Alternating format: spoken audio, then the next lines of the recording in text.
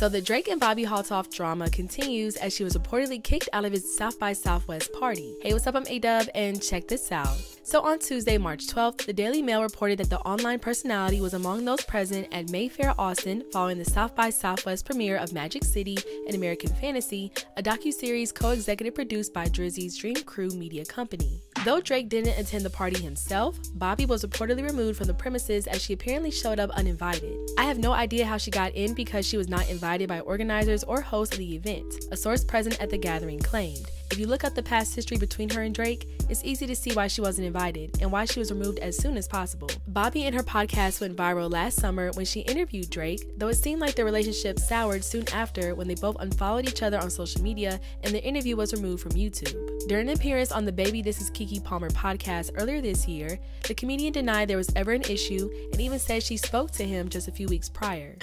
So Drake came on, and what was the beef? What was the thing? What was the thing that went viral with you and Drake they're like, the unfollow? What happened with that? Why did he unfollow you? Um, I guess we'll never know.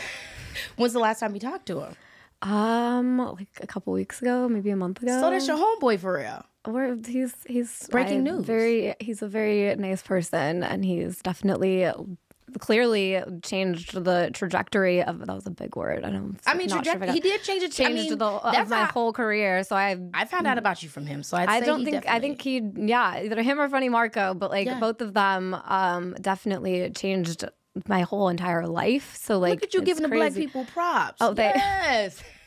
they definitely did. There's no like, there's no I, without them. It's like I was still gonna be like posting with my 100k views and not. Amid reports of a divorce from her husband, rumors about Bobbi sleeping with Drake began circulating online last year, though she was quick to deny them. Yet another theory as to why their episode was removed arrived in September when a TikTok user by the name of PhotogSteve81 posted a clip that went viral. In it, he claimed that Drake essentially controlled the fate of the episode through corporate bullying. With him playing Tyga's Rack City during the interview, the social media user theorized that he could have had UMG, who owned the rights to the track, threaten to take all the profits from the interview or have it taken down due to copyright law. Drake paid her travel to come to his location, negotiated where his team would film, produce, and control most everything about the podcast. He then goes on to play Tyga's track, Rack City. He specifically leaves it playing and airs a very long clip in the episode, which now appears to have been his leverage he planted in the episode from the beginning. Drake's team reached out to Universal Music Group, which owns the rights to Rack City, and then issued a copyright strike against Bobbi's podcast. They filed it under the terms that YouTube has with Universal Music. But let us know your thoughts in the comment section below. Make sure to hit that subscribe button and notification bell to set the date on all of our new videos. And as always, make sure to keep it all the way locked